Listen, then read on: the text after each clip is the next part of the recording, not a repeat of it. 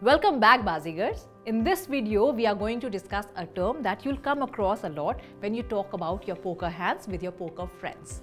Today, we are going to talk about expected value, which is called EV for short. We will discuss what it means, why it's important, and how to apply it. Let's start with a small example from cricket. Suppose you're watching a renowned batsman doing some batting practice in the nets. Now the batsman turns to you and proposes a 100 rupee bet that he will connect with the ball on the next shot. Will you take the bet? You already know that this is a bad bet for you because that batsman is known for his impeccable strike rate. But let's try and look at it in mathematical terms. 90% of the time the batsman will connect with the ball and 10% he will miss because of a wide etc.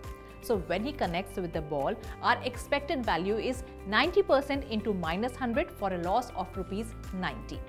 When he misses the ball, which happens 10% of the time, our EV is 10% into 100 for a profit of rupees 10. So now when we are considering the batsman bet, we can calculate the total EV of the bet as the EV of him missing, which is a profit of rupees 10 minus a loss of rupees 90 when he connects for a total loss of rupees 80. So every time we accept his bet, we are making a loss of rupees 80 regardless of the outcome. But now, suppose he had offered you 20 to 1 odds on the bet, which means when he connects with the ball, he gets rupees 100. But when he misses, he gives you rupees 2000. What should you do now? Once again, we can calculate this by multiplying the probability of the two outcomes with the profit or loss of each outcome.